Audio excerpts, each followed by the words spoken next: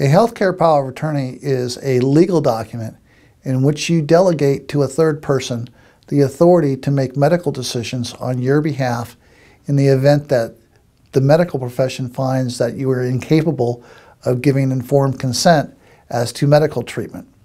In the state of Florida, we call these documents a designation of healthcare surrogate.